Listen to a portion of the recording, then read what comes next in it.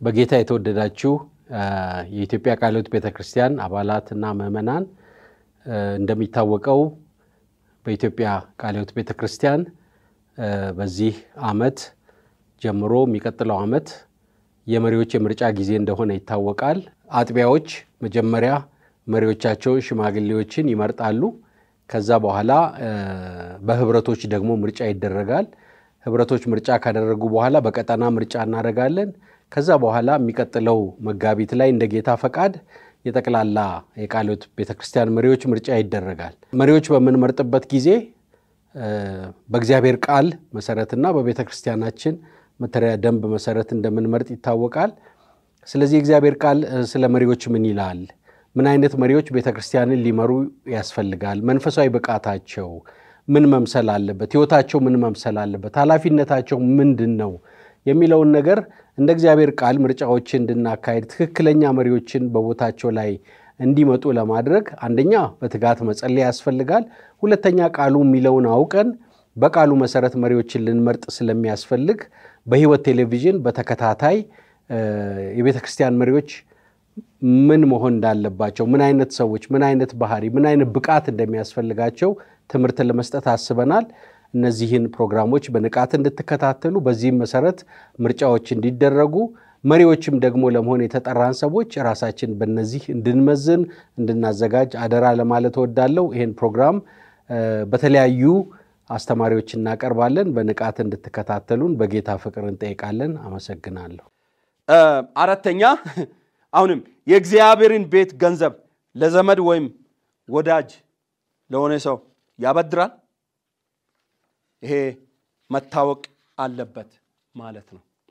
ስለዚህ ይሄ ገንዘብን የማይወድ መሪ የራሱ ያልሆነውን ገንዘብ ንብረት ለራሱ ለማድረግ እቅድ የማያወጣ መላ የማይወጣ የማይፈልግ የማይመኝ እንዲሁም ደግሞ በቤተ ክርስቲያን ውስጥ ገንዘብ ተገኝቶ ከሆነ ያንን ገንዘብ ለተገቢው ዓላማ የሚያውል በማህበረሰብ ውስጥ በቤተ ክርስቲያን ውስጥ በገንዘብ ጉዳይ ላይ የማይታማ ከላይ ትዝላችኋል፣ የማይነቀፍ ኤጲስቆጶስ የማይነቀፍ ሊሆን ይገባል፣ በገንዘብም ጉዳይ ማለት ነው።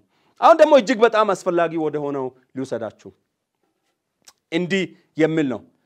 ምዕራፍ ሶስት ቁጥር አራት ወገኖች፣ ይህም በጣም ልናዳምጥ ልናስብ ይገባል። እንዲህ የሚል ቃል ነው። ቁጥር አራት ላይ ልጆቹን በጭምትነት ሁሉ እየገዛ የራሱን ቤት በመልካም የሚያስተዳድር ሰው ግን የራሱን ቤት እንዲያስተዳድር ባያውቅ የእግዚአብሔርን ቤተ ክርስቲያን እንዴት ይጠብቃታል ይላል። ራሱ አሁን ከፍ እያለ ከቀላል ወደ ውስብስብ የመጣ ይመስላል ለጳውሎስ እንዲሁ ዝም ብለን ስናየው የቤተሰብ ሕይወቱን የሚያመለክት ነው ማለት ነው።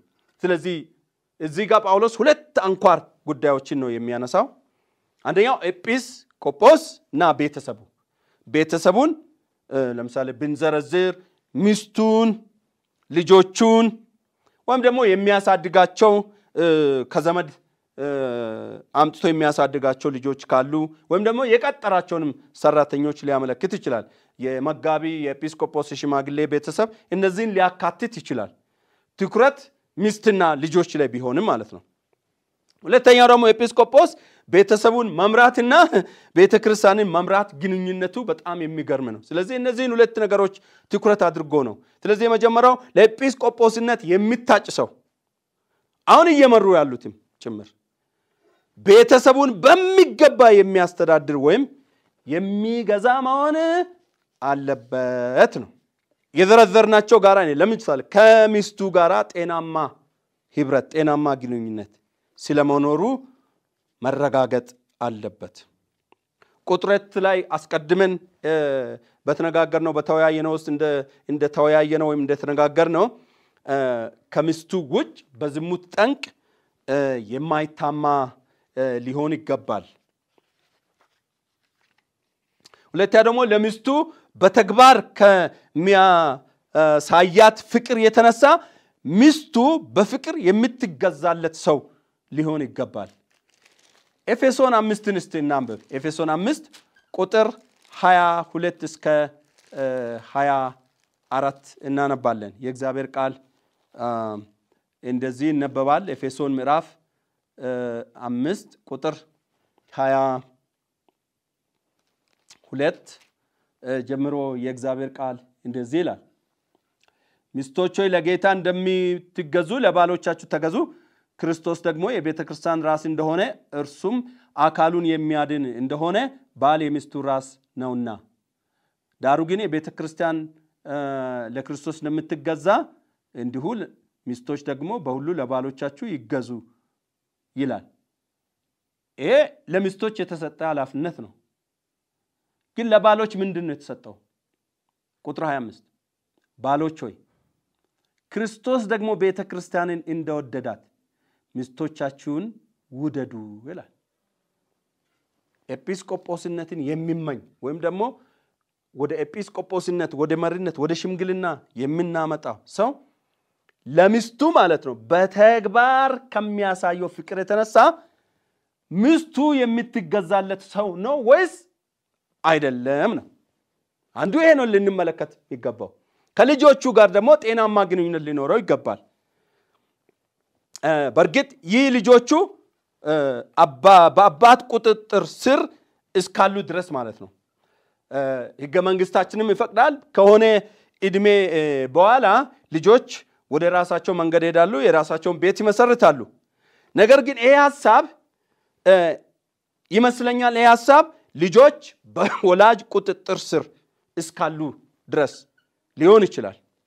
እንግዲህ ልጆቹ እርሱን የሚታዘዙለት ይህን ለሽምግልና የተመረጠውን ሰው የሚታዘዙለት ልጆቹ ደግሞ በቤተ ክርስቲያን ውስጥ ላሉ ልጆች ወይም ሌሎች ወጣቶች የመልካም ነገር ምሳሌ የሆኑ እንደገናም ልጆቹ ነውረኛ ባልሆነ አኗኗር የማይወቀሱ ሊሆን ይገባል። ክፍሉ ራሱ ደግሞ ልጆቹን በጭምትነት ሁሉን አይደለም የሚለው በጭምትነት ሁሉ ይላል የሚለው ሀሳብ አባቶች ሆይ ልጆቻችሁን አታስቆጧቸው ብሎ ጳውሎስ በኤፌሶን ስድስት አራት ላይ ከጻፈው ጋራ በጣም ይስማማል ይህ ክፍል። ስለዚህ ልጆችን ምን ማለት ነው ሳያስቆጣ በስርዓት በፍቅር የሚያሳድግ ሊሆን ይገባል። በዚህ ስር ከቤተሰብ ስር መጨረሻው ሀሜሮሃ ወይም ደግሞ ሶስተኛው ቤቱ ካሉ ዘመድ ልጆች ጋር እንዲሁም ከቀጠራቸው አገልጋዮች ጋር ጤናማ አስተዳደር ሊኖር ይገባል። ምን ማለት ነው ይሄ? በራሱ ቤተሰብ ለራሱ ቤተሰብ እና የዘመድ ልጆች የሚያደርገውን ሁሉ ለዘመድ ልጆችም ለሰራተኞችም ሊያደርግ ይገባል። ምን ማለት ነው ይሄ? በምግብ የሌሎች የዘመድ ልጆች በምግብ መበደል የለባቸውም። በአልባሳትም እንደዚሁ በትምህርትም መበደል የለባቸውም። በጤና ወይም በሕክምና መበደል የለባቸውም። በአምልኮም መበደል የለባቸውም። ምን ማለት ነው? እሱና ቤተሰቡን ልጆቹን ሁልጊዜ ቤተ ክርስቲያን የሚወስድ ከሆነ እነዚህም ደግሞ የዘመድ ልጆችም ቤተክርስቲያን ውስጥ ቤተክርስቲያን መሄድ አለባቸው። እነርሱም ጌታን ማምለክ አለባቸው። ከአምልኮ የሚገኘውን እግዚአብሔርን ከማምለክ የሚገኘውን በረከት እነሱም ሊቋደሱ ይገባል። ሌላው በቤቱ ሰራተኞች በቤቱ ውስጥ የሚሰሩ ሰራተኞችም ቢሆኑ መበደል የለባቸውም። ከላይ እንደተነጋገር ነው ለቤተሰቡ የሚያደርገውን የተዘረዘሩትን እነዚህን ነገሮች ሁሉ ለሰራተኞቹም ማድረግ አለበት። በተጨማሪም በደሞዛቸውም መበደል የለባቸውም። ደሞዛቸውን በተስማሙበት ስምምነት መሰረት መስጠት፣ በጊዜ መስጠት እጅግ አስፈላጊ ነው። ስለዚህ የኤጲስቆጶስነት ይሄ በጣም በጣም መፈተሽ ያለበት ጉዳይ ነው። ከቤተ ክርስቲያን ጋር መገናኘቱ ደግሞ በጣም ይገርማል። የቤተ ክርስቲያን ኤጲስቆጶስ የቤተሰብ አስተዳደር ቤተ ክርስቲያንን ከማስተዳደር ጋር መገናኘቱ እጅግ አስደናቂ ነው። ለምን? ኤጲስቆጶስ በአጠገቡ ያለውን በቁጥር አነስተኛ የሆነውን በተለያየ ስፍራ ደግሞ ተበታትኖ ያለውንና በቁጥር ብዙ የሆነውን ምእመን እንዴት ያስተዳድራል ነው። ምን ማለት ነው? በአጠገቡ ያለውን ቤተሰብ በቁጥር ደግሞ ጥቂት የሆነውን ቤተሰብ ማስተዳደር ሳይችል ተበታትኖ ያሉ ምዕመናንን ወይም ደግሞ በቁጥር በርካታ የሆኑ ምዕመናንን ማስተዳደር እንዴት ይቻላል? እንዴት ይቻላል? ሌላው ደግሞ ለቤተሰቡ የእግዚአብሔርን ቃል የማያስተምር ከቤተሰቡ ጋር አብሮ የማይጸልይ ኤጲስቆጶስ በቤተ ክርስቲያን ውስጥ እና ውስጥ ደግሞ ዋና ሚና የሆነውን ይሄ ቃልና ጸሎት ማለት ነው አገልግሎት በቤተ ክርስቲያን ውስጥ እንዴት ሊያበረክት ይችላል? ከየት ያመጣውን ልምድ ከየት ያመጣውን ልማድ ወደ ቤተ ክርስቲያን ሊያመጣ ይችላል? ይሄ ቀላል ነገር አይደለም። ሌላው ደግሞ የቤተሰቡ አባላት ሚስቱ፣ ልጆቹና የዘመድ ልጆችና ሰራተኞች የማይታዘዙለት ከሆነ የቤተ ክርስቲያን ምዕመናንና አገልጋዮች እንዴት ሊታዘዙለትና ሊገዙለት ይችላሉ? የዘመድ ልጆቹን ሰራተኞቹ ላይ አድሎ የሚያደርግ ከሆነ ቤተ ክርስቲያን ውስጥ ውሳኔዎችን ያለ አድሎ እና ፊታዊ በሆነ መንገድ ሊወስን ይችላል ወይ? እንግዲህ ወገኖች ይህ መመዘኛ እንዲህ ከባድ ከሆነ እንደዚህ አይነት ሰዎችን እንዴት ማግኘት ይቻላል ነው። በእርግጥ በኋላ ቀጥለን የምናወራው ቢሆንም በመጀመሪያው ይህ ሰው አዲስ ክርስቲያን አይሁን ነው ያለው። አዲስ ክርስቲያን መሆን የለበትም። እንደዛ ከሆነ ደግሞ ይሄ ሰው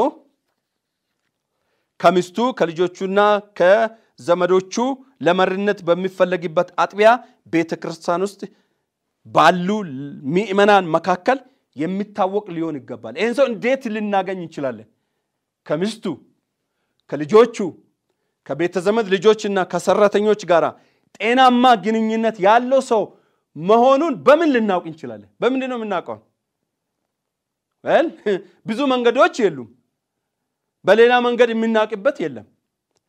ነገር ግን ከሚስቱ ከልጆቹና ከዘመዶቹ ወይም ከሰራተኞቹ ጋር ለመሪነት የሚፈለግበት በሚፈለግበት አጥቢያ ቤተ ክርስቲያን ውስጥ ባሉ ምዕመናን መካከል የሚታወቅ ሊሆን ይገባል። ይሄ ሰው ምን ማለት ነው? ከነዚህ ሁሉ ጤናማ ግንኙነት ያለው ሰው መሆኑን ምዕመናን ያውቃሉ። መሪዎችም ነባር መሪዎችም ሊያውቁ ይችላሉ። ሌላው ደግሞ አሁን ያሉ መሪዎች አገልጋዮችና ምዕመናን ባልንም ሚስትንም ልጆቻቸውንም እና ሰራተኞችንም በቅርበት የሚያውቁና ምስክርነት ሊሰጡ ስለሚገባ ነው። የዚህ እንድምታ ምን ማለት ነው? ይሄ ማለት ምን ማለት ነው? ባል ሚስትና ልጆች መሪ እንዲሆን በተፈለገበት አጥቢያ ቤተ ክርስቲያን አብረው የሚመጡ የሚያመልኩ፣ የሚያገለግሉ ወዘተ መሆን አለባቸው። ሌላው ደግሞ ኤጲስቆጶስ ሊሆን የሚወድ ሰው ወይም ያ ሰው ቤተሰብ በአንድነት እያገለገለ የመራ መሆኑ ቤተሰቡን ማለት ነው። በቤቱ የመጽሐፍ ቅዱስ ጥናት እርሱ ሚስቱና ልጆቹ አብረው መሆናቸውን አብረው የሚያጠኑ ምዕመናን ወደ ቤቱ ማለት ነው። ቤቱ ውስጥ ቀደም ብለን እንደተነጋገርነው ቤቱን ለመጽሐፍ ቅዱስ ጥናት ከፍተው ከሆነ ምዕመናን ወደ ቤቱ ይሄዳሉ። ስለዚህ መታዘብ ይቻላል። በዚያ ጥናት ውስጥ ሚስት ካለው ያገባ ሰው ከሆነ አብረው ትካፈላለች፣ ወይም ደግሞ ልጆቹ አብረው ይካፈላሉ። ሕፃናት ካልሆኑ በስተቀር የደረሱ ማለት በጣም በጣም በእድሜ ትንሽ የሆኑ ልጆች ካልሆኑ በስተቀር የደረሱ ወጣቶች ከሆኑ አብሮ መካፈል እጅግ በጣም አስፈላጊ ነው። ይሄ በጣም አስፈላጊ ነው። አንድ ላይ መሆን የአስተምሮ የእምነት አቋምና አስተዳደራዊ ልዩነቶችም ሊስተዋሉ ወይም ሊስተናገዱ ስለሚችሉ ባል እዛ አጥቢያ፣ ሚስት ደግሞ በሌላ ቤተ እምነት፣ ልጆች በሌላ ቤተ እምነት እኔ በግሌ እምነቴ አይደለም አይመከርም። ስለዚህ ኤጲስቆጶስነት ለኤጲስቆጶስነት የታጨ ሰው ለመሪነት የሚፈለግ ሰው ደጋግሜ እንደምናገረው አሁንም በአመራር ላይ ያሉ ሰዎች በአጽንኦት ሊያስቡት እንደሚገባ የራሴን ምክር መለገስ እወዳለሁ። አንደኛ በቤተሰብ አስተዳደር ብቃት የማይሰማው ከሆነ ይህ የተጠቆመው ሰው ከምርጫ ውድድር ውስጥ ራሱን ማግለል ጥሩ ነው። ለወደፊት ይህን መመዘኛ ሲያሟላ እንደገና መምጣት ይችላል። ሌላው ምክሬ ሁለተኛው ሚስቱን ማስተዳደር የማይችል ወይም ሚስቱን በሚገባ የማይንከባከብ ወይም ሚስቱ ራሷ በሚመናና በማህበረሰብ ውስጥ ጥሩ ምሳሌነት ከሌላት ይህ ሰው በምርጫ ውድድር ውስጥ ባይገባ ይመረጣል እላለሁ። አማኞች በዙሪያችን ላሉ ኢ አማንያን ክርስቶስን ላላመኑ በእኛ ቋንቋ ክርስቶስን ባልተቀበሉ መካከል ጨውና ብርሃን ልንሆን ይገባናል። ለዚያም ተጠርተናል። ማቴዎስ 5 13 ከ16 ማንበብ ለዚህ በጣም ጠቃሚ ነው። መቼም ለኤጲስቆጶስነት የተጠቆመ ሰው ልክ እንደ ኢየሱስ ክርስቶስ ሰዎች የሰውን ልጅ ማን እንደሆነ ይሉታል ብሎ በድፍረት በአካባቢው በቤተ ክርስቲያን ያሉ ሰዎችን አይጠይቅም። ምን ማለት ነው? ሰዎች ሚመናን፣ አካባቢው እኔን ምን እያለ ነው? እናንተ ምን ትሉ? በዚህ ቤተ ክርስቲያን ውስጥ ማበለ ሚመናን እኔን ምን እያሉ ነው ብሎ ይጠይቃል ብዬ አላስብም። እንደዚህ አይነት ለመጠየቅ ድፍረት የምታገኙ ሰዎች ካላችሁ እሰየው የሚያስብል ነው። እንደዚህ አይነት ድፍረት ቢኖር በጣም ጥሩ ነበር። ይሁን እንጂ ለመሪነት የታጨ ሰው በማህበረሰቡ መካከል ይታወቃል። ጆሮ ሰጥቶ መስማት ማዳመጥ ያስፈልጋል። እንደውም እንደሰማሁኝ አንዳንድ ባቦች እንዳነበብኩኝ ከሆነ መጋቢ ሊሆኑ የተፈለጉ ሰዎች በአንዳንድ አገሮች ከወንጀልና መድኃኒት ወይም ድራግ የምንለውን ሱስ እጾችን የማይጠቀም ነፃ መሆኑን ከማዘጋጃና ከፖሊስ ምስክርነት ይጠይቃሉ፣ እንዲያመጡ ይጠየቃሉ። ለምን? በማህበረሰቡ መካከል አማኞች ባልሆኑ ሰዎች መካከል ኤጲስቆጶስነትን የሚመኝ የሚፈልግ እግዚአብሔር ሸክም የሰጠው በእግዚአብሔር የተጠራ ሰው እኔ ተጠርቻለሁ ብቻውን አይበቃም። ከላይ የተማርናቸውን ሁሉ ከዘረዘረ በኋላ ጳውሎስ ይሄ ሰው እንደዚህ አይነት ሰው ወይም ደግሞ በቤተ ክርስቲያናችን አሰራር ጠቁመን በኮሚቴውን በሌላ መንገድ ጠቁመን የምናመጣው ሰው አኗኗሩ በውጭ ባሉት ኢአማንያን መካከል ባሉት ውስጥ አኗኗሩ እንዴት ነው ብሎ መጠየቅ ያስፈልጋል ማለት ነው። አሁንም በዚህ ስፍራ ጳውሎስ ምክንያቱን ቁጥር ስድስት አዲስ ክርስቲያንን በሚመለከት በትዕቢት ተነፍቶ በዲያብሎስ ፍርድ እንዳይወድቅ ይላል። ይሄኛውንም ደግሞ አማኝ ምን ነው የምለው በዲያብሎስ ነቀፋና ወጥመድም እንዳይወድቅ ነው። ትንሽ ለየት የሚያለው በዲያብሎስ ነቀፋ ወጥመድም እንዳይወድቅ በውጭ ካሉት ሰዎች ደግሞ መልካም ምስክርነት ሊኖረው ይገባል። ጳውሎስ ምን እያለ እንደሆን ታውቃላችሁ? እንደዚህ አይነት ሰው ወደ መሪነት ብናመጣ እግዚአብሔርም ባይገልጥልን ምዕመናንም ባያውቁ ኮሚቴም ባያውቁ እንደምንም አልፎ ወደ መሪነት ቢመጣ ዲያብሎስ ይከሰዋል። በአገልግሎት ውስጥ አንተ እንደዚህ አይነት ነገር እያደረግ እንዴት ቤተክርስቲያንን ልትመራ ትችላለህ? ይከሰሳል። ከዚህ ክስ ወይም ደግሞ የዚህ ክስ ሰለባ እንዳይሆን እንዳይነቀፍ በዚህ ክስ ምክንያት ደግሞ ይሄ ሰው ውድቀት እንዳይገጥመው በውጭ ካሉት ሰዎች ደግሞ መልካም ምስክር ሊኖረው ይገባል ይላል። ሌላው ደግሞ ነባር መሪዎች በመሪነት ተራቸው ተኝተው ተኝተው ለተጠቀምኩበት ቋንቋ ይቅርታ ጠይቃለሁ።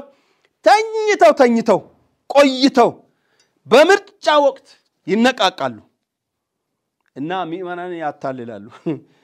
ለምሳሌ ድንገተኛ ፕሮግራም ያወጣሉ፣ ጉብኝት ህንፃን ማደስ ይጀምራሉ። የተጎዱ ሰዎች ካሉ በቤተ ክርስቲያን ውስጥ ገንዘብ እርዳታ ያደርጋሉ። በነገራችን ላይ ከራሳቸው ሳይሆን ከቤተ ክርስቲያን ካዝና አውጥተው የተጣሉ ሰዎች ወይም ቡድኖች ካሉ እርቅ ይፈጽማሉ። ወይም ደግሞ ለኳይሮች የደንብ ልብስ ያሰፋሉ፣ የሙዚቃ መሳሪያ ይገዛሉ፣ ወዘተ። እንደዚህ አይነት ድንገተኛ ነገሮችን ያደርጋሉ።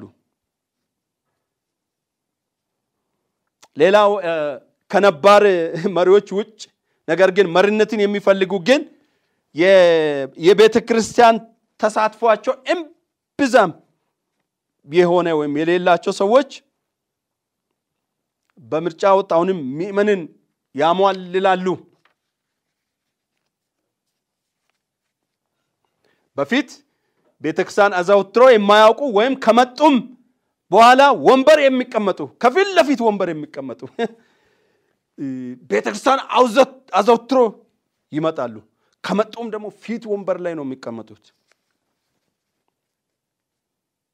ይሄ ነገር የማይጥም ይመስላል፣ የማይመስል ይመስላል። ነገር ግን እውነት ነው። ለምሳሌ ሰዎቹ ነጋዴዎች ከሆኑ በምርጫ ወቅት ለቤተ ክርስቲያን ምን ያደርጋሉ? ዳጎስ ያለ ገንዘብ ይሰጣሉ። የምስጋና ኮንፈረንስ ያዘጋጃሉ። አገልጋዮችን፣ ሽማግሌዎችን ደጋግሞ በግብዣ በመደለል የራሳቸው ያደርጋሉ። ሌላው ለምሳሌ መስፈርት በታዋቂነት ለምሳሌ የጎሳ መሪ ስለሆነ ሀብት ስላለው ነገር አዋቂ ስለሆነ ወዘተ ላይ ብቻ በመመስረት ሰዎች በቤተክርስቲያን ውስጥ ሊመረጡ ይችላሉ። ሌላው በምርጫ ጊዜ ሌላው ፈተና ደግሞ ከመጽሐፍ ቅዱስ እና ከመመሪያ ውጭ በሚደረግ ዘመቻ ትክክለኛ ያልሆኑ መሪዎች ወደ አጥቢያ ቤተክርስቲያን ውስጥም ይመጣሉ። ከአጥቢያ ቤተክርስቲያን ውጭ በመዋቅሮችም ውስጥ ሊመጡ ይችላሉ። ይህ የቤተ እምነት መሪዎችንም በእውነተኛ መንገድ ከማምጣት ይልቅ በሌላ መንገድ ማምጣት ሊሆን ይችላል። ለምሳሌ በሆነ ቡድን ወይም ደግሞ ብሔር መሪ እንዲመጣ በረዥም እጅ ወደ ታች ወርደው ዘመቻ ማድረግ ሊሆን ይችላል እና ወዘተ በተለያዩ መንገዶች መሪዎች ሊመርጡ ስለሚችሉ አዳጋች ያደርገዋል። በእኔ እምነት የቤተ እምነትም ይሁን ዲኖሚኔሽን ማለት ነው። ለምሳሌ በእኛ ቤተክርስቲያን ሁኔታ የዋና ጽህፈት ቤት መሪዎች፣ የቀጠና መሪዎች፣ የህብረት መሪዎች ቤተ ክርስቲያንን የሚመሩ እስከሆኑ ድረስ አንደኛ ጢሞቴዎስ ምዕራፍ 3 ከአንድ እስከ ሰባት በሚሰጠው መስፈርት መሰረት መሆን አለበት። እዚህ ላይ ግን ማሳሰቢያ አለኝ። መሪዎቹ ዓለማዊ ትምህርት የተማሩ ሊሆኑ ይችላሉ። ታዋቂ መሆንም ችግር የለውም። የአንድ ብሔር ወይም ጎሳ አባል መሆን ችግር የለውም። ይሄ ተጨባጭ ነው፣ reality ነው፣ ይሆናል። ሰዎች ከተለያየ background፣ ልምድ፣ እውቀት ደረጃ ሊመጡ ይችላሉ። ነገር ግን ቤተ ክርስቲያንን ለመምራት ለቤተ ክርስቲያን የተሰጠው መጽሐፍ መጽሐፍ ቅዱስ በሚሰጠው መስፈርት ብቻ ወይም መመዘኛ አልፈው መምጣት አለባቸው። ቢያንስ በእነዚህ ቀናት በተነጋገር ነው አንደኛ ጢሞቴዎስ ምዕራፍ 3 ከቁጥር አንድ ሰባት መሰረት ሊሆን ይገባል። ስለዚህ ኤጲስቆጶስ ወይም ደግሞ የቤተ ክርስቲያን መሪዎች መንፈሳዊ ብቃት ያላቸው ሊሆኑ ይገባል። ስለዚህ እግዚአብሔር ለቤቱ የሚሆኑና እንደ ቃሉ የሚሆኑ ወይም የሚመሩ መሪዎችን እርሱ ይስጠን። አሜን። እንጸልያለን።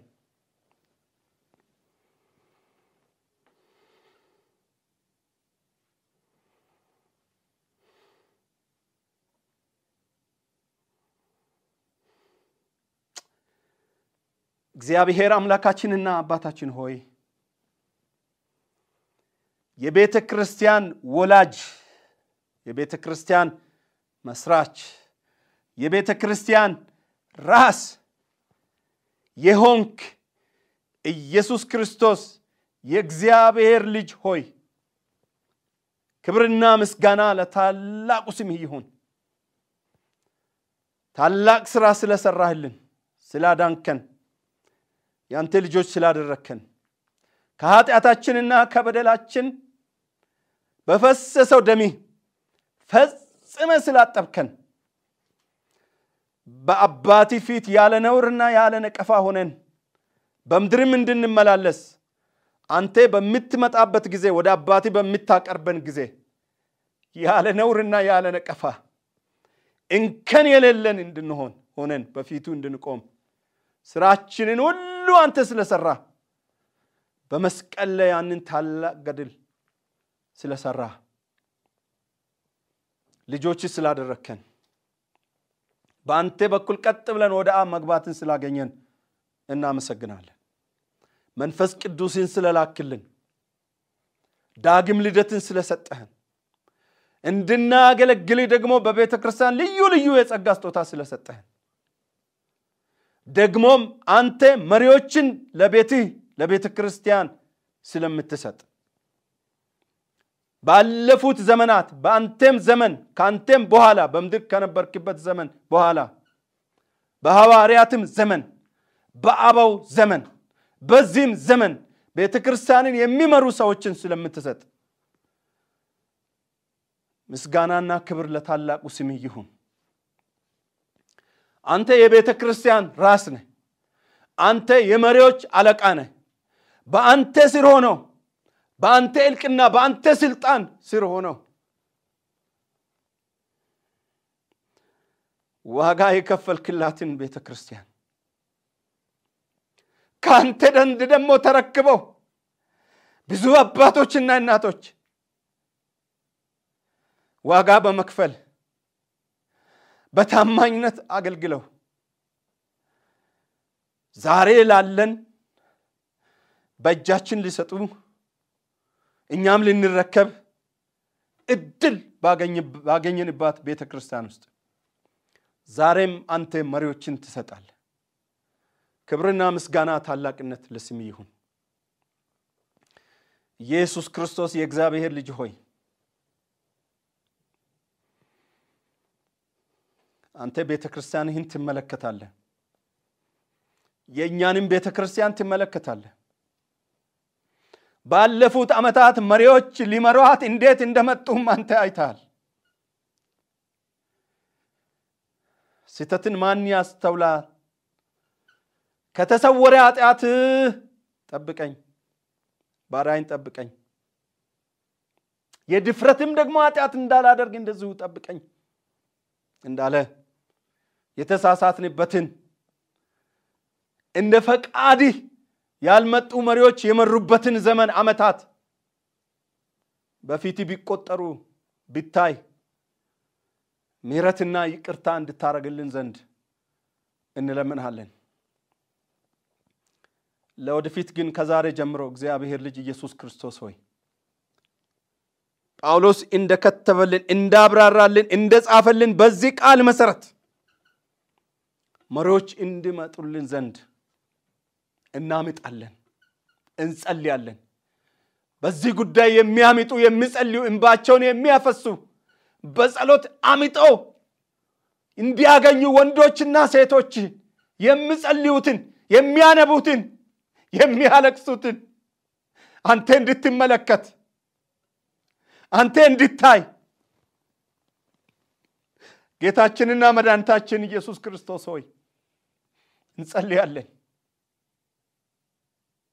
እውነተኛ በዚህ ቃል መስፈርት ጌታ ይህ ስታንዳርድ አይወርድም። ይህ ስታንዳርድ ይህ መመዘኛ አይወርድም። ውሃ አይቸለስበትም፣ አይቀልም። መሪዎችን ስጠን፣ የሚመሩንን መሪዎች ስጠን። ቤተ ክርስቲያንን አሁን አንተ ታያለህ። በማን በነማን እጅ እንዳለች ታያለህ። አንተ ታያለህ። ኢየሱስ ሆይ ለወደፊት ቤተ ክርስቲያንን እንደ ቃልህ የሚመሩ በቅድስና የሚመሩ በእውነት የሚመሩ እንደ ቃል የሆኑ መሪዎችን ውለድልን፣ አሳድግልን፣ ወደፊታችንም ደግሞ አምጣልን። በዚህ ጉዳይ የሚያገለግሉ የሚመሩ፣ አቅጣጫ የሚያስይዙ አገልጋዮቻችንን መሪዎቻችንን በታላቅ ጥበብ እንድትሞላ እንጸልያለን። ልክ ባልሆነ መንገድ የሚሄዱ ካሉ ደግሞ አደብ እንዲገዙም እንድታደርግ ዘንድ እንጸልያለን። ጌታችንና መድኃኒታችን ኢየሱስ ክርስቶስ ሆይ ይህንን ቃልህን ፈጽም፣ ይህንን ቃልህን አክብር። እናመሰግንሃለን ስለሰጠህን ጊዜ፣ ስለሰማህንም ተመስገን። በመድኃኒታችን በጌታችን በኢየሱስ ክርስቶስ ስም አሜን።